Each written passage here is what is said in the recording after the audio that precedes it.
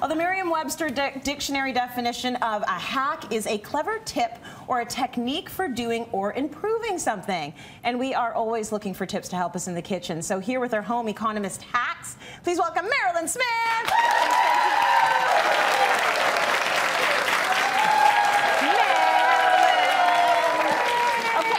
Teaching us a little something or something um, in the kitchen because that's what home economists do. Right. Now we're calling them hacks. So give us some of your hacks. Okay, so, so, many. I know this is kind of my life, and this so is your when, life. when people call them hacks, it's like, no, no, that's what I do. This anyway, is what so I do. Come on down over here because this okay. is like the play area. All right, so well, this is where the chocolate. This is, This is where the chocolate is. Let's right? start here, shall we? So people think hardware stores are for hardware. No, they're right. for the kitchen. You can do things with hardware stuff way cheaper than going to a kitchen store and buying something that's a specific tool. Okay. For instance, like? you can buy like a $75 chocolate pick, mm -hmm. or you can go to the hardware store and get a chisel. Oh, or you and can just use your teeth, guys. That's what I do. yeah, do. Okay, but that if this is for like chocolate chunk cookies or oh, something, or if I, was going to melt it. So it's a really, really neat idea. I have a really old one, but it was so disgusting I didn't bring it, so I bought a new one. Right. Okay. you were embarrassed, right? I was like, like, I'm not bringing that on that. TV. They'll think what she's been doing some hardware, and now she's using chocolate. Uh, and you just use it in the kitchen, I obviously. just use it in the kitchen. Don't take it out to the garage no, when you're done. do not cross-contaminate. You, got it. You know what? We've got raccoons. You never know; they're dancing around in your shed. Anyway. Um, okay, these are these are like little paint brushes that are really handy, but they're really good for cleaning crevices, like in a food processor oh, or in a blender when you can't reach in them and you That's can't get true. the cloth. Yeah. So and they're like they're just so cheap. Right. Um, you know, I, I have this on my on my counter because all the stainless steel kind of they're okay looking, but I like the look and it doesn't rust. So right. if you do have stainless steel in your house, if you put that on it, it's not going to go rusty on you mean terracotta. these things, the terracotta So the terracotta. Plate. This is like what I would get in a hardware store for a gardening thing. Oh, okay. okay. So everyone's going, That's good oh, idea. and they're so inexpensive. Just for your sponges and all that stuff. All that kind of stuff, okay. yeah. Although I don't use sponges, but I that's know. another day. Okay, We've right. talked about that. I'm gonna die. I get it. Yeah. Okay. Good. Not yet, though. You're doing really well. I'm still okay. I know. You're like walking anomaly. anyway, okay. So I don't know about you, but string in the in the drawer drives me crazy. Yes. And so I put all my string in a terracotta, and then I just pull it out. Oh, Isn't that kind of cool? Scientist, you. I know. I know. I'm a genius. I can't help it. And then it never gets tangled. It never gets tangled, and you can do multiple ones. You could even do this as crafts, you know, where you have multiple yes. ones for ribbons or something. Yeah, yeah. Okay, now, I always worry about people that have, have arthritis that can't open jars. Mm -hmm. And you can buy those jar openers, they're expensive, but mm -hmm. duct tape does the trick. Works really well because it gives you that grip. Grip. There you go, okay? Can so, I tell you my hack? Yeah. An what, elastic. What is it?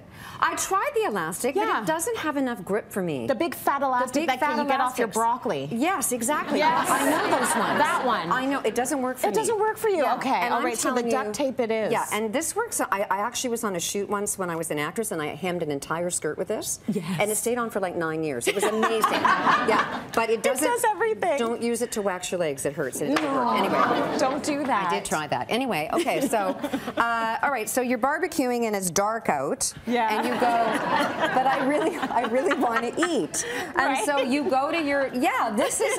These are amazing. Uh, Scott has one too, and it's just so much fun to be an idiot.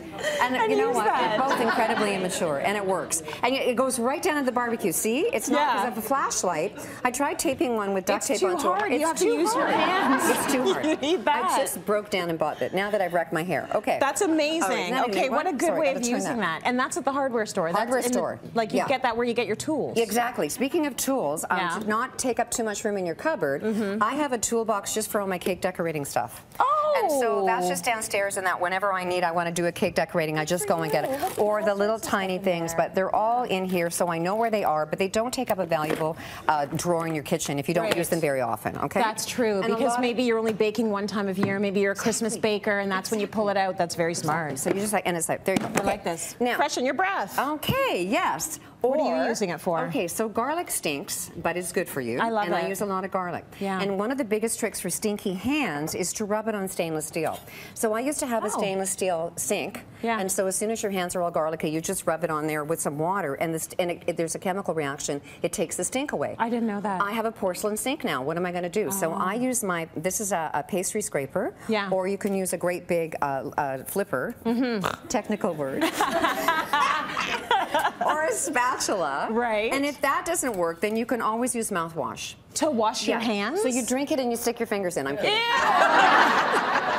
no, you just rinse your hands with with the, with that. Realize Yeah, that. Because it- it's going to do better than soap and water. Soap and water, you're it's still going to be garlicky. It's still garlicky. It takes out stinky breath. It takes out stinky fingers. Oh, okay. That's a weird thing. All anyway, right. okay. Uh, stains in your teapot. Yeah. There, there's a really big one. Okay, so you can. And you're a big tea woman. I'm a big tea, and you know what? I wash my teapot out every day, so like I had to make this go stainies just to show you. Right. Um, but you would either do salt and uh, lemon, Uh-huh. or uh, you can do baking soda and water and let it soak for about an hour. Okay. Or you can use uh, dental if you have anybody that has dentures or uh, like a sleep guard. You Mm-hmm. Could put that in there with the water, and it takes the stains out too. Ooh, good to know. know. And all those things are edible, so you're all good. Well, not You're edible. good. You don't want to eat it. But no, you no, can no. But if put you it in your mouth, your it's mouth, okay. exact, exactly. Right? And you can put Okay. them in the in the, They're the safe. dishwasher, but like you might wreck this, and especially if it's a good teapot, you don't want to do that. The that. dishwasher's not going to get the stains out. well, it kind of does, but it's not very good. Yeah, okay. bl- Uh, berry stains on a board, really easy. Just Oh, so you did that on purpose. I did it on purpose. I'm like, Mairlyn never brings dirty stuff in here. That's so interesting. Yeah, so but you're going to let it sit, and you got to let it sit. I've seen people do the hack, and it's like really quick, but you got to let it sit and let that absorb. Okay. Now my next biggest one, and I hope we have time, is that We a dirty do. pot. Okay, so here's the pot that looks like this now. Keep holding that up now because I want you to remember what it looks like now. Yes. And then take a look at the video of how this looked after she burnt. What'd you burn? I burnt barley, and there was a smoke alarm went off in my house. Oh, my god. Now you add boiling water, you cover it with a lid, you Yeah. let it sit for about 30 minutes, then you get a wooden sort of a scraper. Like it was a Uh, mess. it was a mess. Like honestly, like it, my house still smells like like, Burnt like barley. burnt barley. You scrape it up, and then you add vinegar. Yeah. You bring it to the boil, and when that is uh, boiled up, you add baking soda. Yes. And then you scrub the heck out of it, and it looks like this after. You're kidding me. I'm not kidding. Yeah. Okay, so that's how it looked, and then that's how it looks. That's absolutely And amazing. That's no and no commercial, uh, you know, cleaners. It's just elbow grease and some uh, natural products. Was that shot on your iPhone? Because that would look like a commercial. Yeah, it was shot on my You can sell that pot now. like I would buy it. I'd be like, oh my gosh, I want the magic potion. But that's all you did in that order. That's all I did You in that boil order. it. You put the vinegar. Was it vinegar? Vinegar after you, uh, so you have to it, when it's be, petrified to the pot. Yes. You have to soften it up again. So the, the, the big trick, and a lot of hacks on the internet, they don't tell you that. Uh-huh. So mine is you always put boiling water in. Don't put cold, you'll warp your pot. Oh, So the boiling water, then you, you let it come to a boil again. Yeah. So you're actually rehydrating it. Then you scrape all that off. Then you do the vinegar and then the baking soda. Is it ever Right. too late? Because I'm thinking of my pots right now. Is it too late?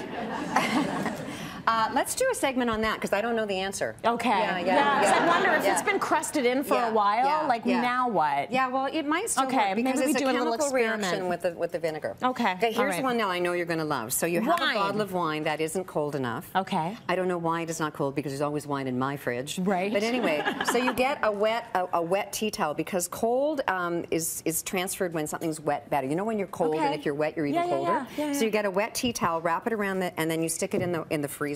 And, and then it, this freezes on and it conducts it, and it's nice and freezing cold. So that that speeds up the whole It process. speeds up the whole process. I have more, but we'll do them maybe another day. Okay, well you can do one more. The Can I- last can. I do one, uh, Yeah. one more? Okay, uh, this is my butter chip. Yeah. Butter's on sale. It was really on sale this last Yes. week. I bought so much of it. Good. And then I cut it into portions uh, and I label it because I use a half and a quarter cup. Yes. And I put it in and then I freeze it because it's unsalted and it goes bad fast. Right. And then when I go to bake the night before, take it out, boom. Oh, nice. Yeah. And you got these little packages rather than this big thing. I know, you can't You're not gonna it's get frozen through all of anyway. that. No, I Mairlyn, just use it to thank you bake. so much.